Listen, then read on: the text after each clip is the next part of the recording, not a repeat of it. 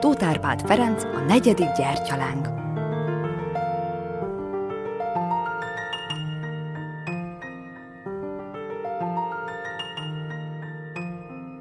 Az a bizonyos este ugyanúgy kezdődött, mint a téli szünet bármely más estéje. A fehér háztetőkön ünnepélyesen csillogott a holdfény, minden csendes volt, csak a szomszéd kutyák csaholása hallatszott néha. Hetek óta vastag hót akarta a tájat, ahogyan minden este és reggel, a madarak most is odagyűltek a kis szoba ablakpárkányára, hogy felcsipegessék a magokat. Csőrükkel szapora ütemet doboltak a bádogon, mintha azt üzenték volna. Apró magot szórjál, jó tettedért, jót várj. Adrien, a gondos kislány, most sem felejtette üresen az etetőt, figyelte a madarakat, jól ismerte őket. Miután az utolsó is elrepült, a párnájába fúrta kis fejét, s a csillagszórós szentestére gondolt. Napközben az adventi koszorún három láng pislákolt, és már csak egy éjszaka volt hátra ahhoz, hogy az utolsó gyertyát is meggyújthassák. Ez a várakozás azonban más volt, mint az előző évben. Kevés szóval telt a karácsonyi szünet. Apa, a kislánya és a kisfia csendben, óvatosan jártak a lakásban, a televízió is csak alig hallhatóan szólt este, amikor odaültek az édesanyja ágya mellé. Korán lefeküdtek, pedig az álom nehezen lett urrá gondolataikon. Mint az elmúlt hetekben mindig, édesapjuk kis idő múlva megigazította a gyerekek takaróját, és puszival kívánt jó éjszakát. Adrien még mindig nem aludt. A félig nyitott ajtón át odaintett anyukájának. Hangtalanul kívántak egymásnak mielőbbi szép álmokat. Az apa újra megsimogatta Adrien buksiját, és az ajtó felé indult. A negyedik gyertyát anya gyújtsa meg! Szólalt meg váratlanul a kislány, és reménykedve nézett az édesapjára. Tudod, hogy nagyon beteg. A doktor bácsi is azt mondta, hogy nem kelhet fel. Napok óta lázas. Azért ne félj, majd meggyógyul, válaszolta az apa, de vigyázott arra, hogy tekintete ne találkozzon a kislányáival. A csend lassan mindent betakart, de Adrien hiába erőltette, nem tudott elaludni. Arra gondolt, hogy mennyire megváltozott az életük, amióta az édesanyja ágyban fekszik.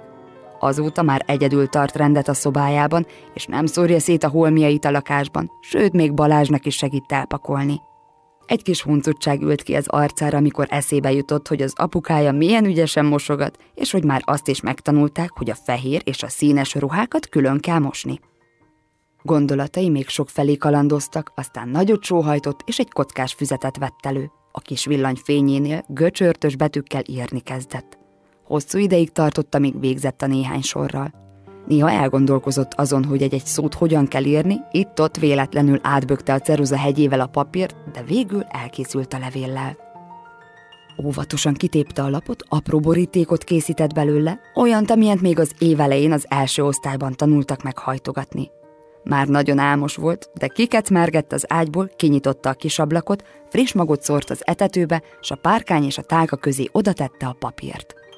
A hűvös szél befújt a szobába, néhány hópelyhet hozott magával. Gyorsan becsukta az ablakot, bebújt az ágyba, és a fejére húzta a takarót.